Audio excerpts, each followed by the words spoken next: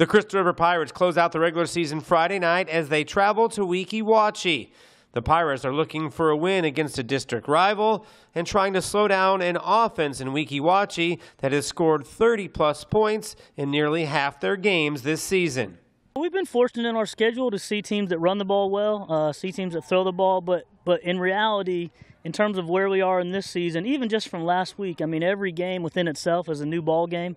Um, you know, we could talk about playing Westport, but that was so long ago. It's, it seems like almost a different season.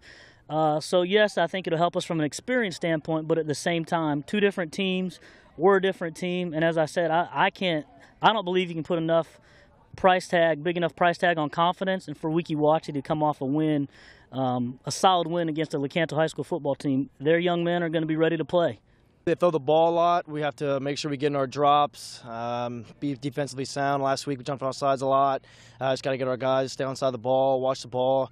Um, hope you have a pick six this week. Uh, we just have to stay disciplined in the secondary. Everyone know their coverage and their role and where they're supposed to be.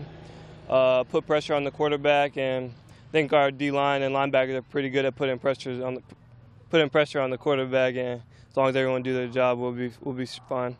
The latest point standings in Class 5A were released today, and Crystal River sits as the top wild card, set to be the number five overall seed.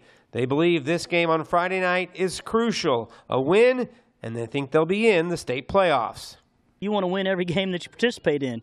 Uh, we've got a bunch of young men who love competing, bunch of coaches who love competing. So for us, yes, in order to give ourselves the best possible chance to go to the postseason, it's really simple. We need to win Friday night. I haven't thought about it, but we just want to go one and zero every week. And if I, if we win this game, we put ourselves in a pretty good chance, pretty good spot to play in the playoffs.